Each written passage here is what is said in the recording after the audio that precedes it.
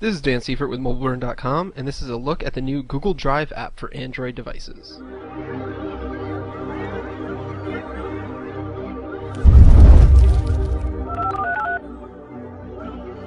Google Drive is the search giant's new cloud-based storage service that uh, kind of competes with Dropbox and SkyDrive from Microsoft and a couple of other services that are already available. And it really is just kind of like a extension of the already existing Google Docs service. Now, associated with this new uh, Google Drive service is the new Google Drive app for Android smartphones. Um, and really, it's just, like I said, an extension of the existing Google Docs app. In fact, if you have Google Docs already installed on your Android phone, Google Drive is just an update for that, which then converts it to the Google Drive service.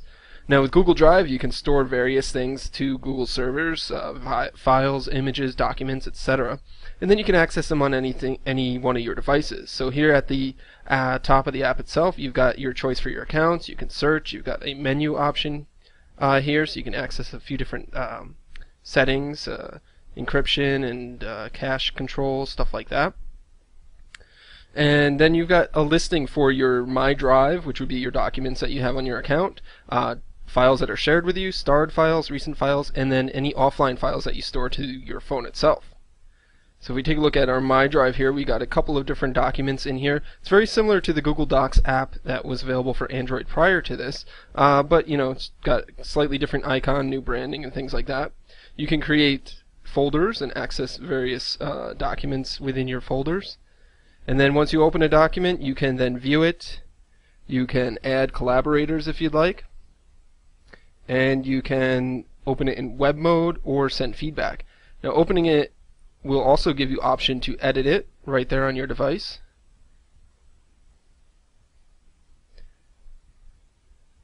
And then it saves, and then it's available on your Google Drive account, uh, regardless of what device that you're actually on.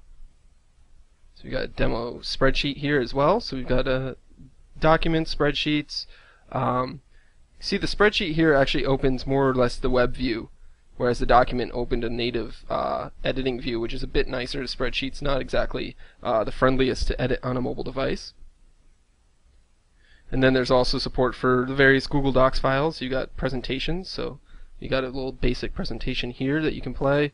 Um, and you've got some basic uh, editing options there.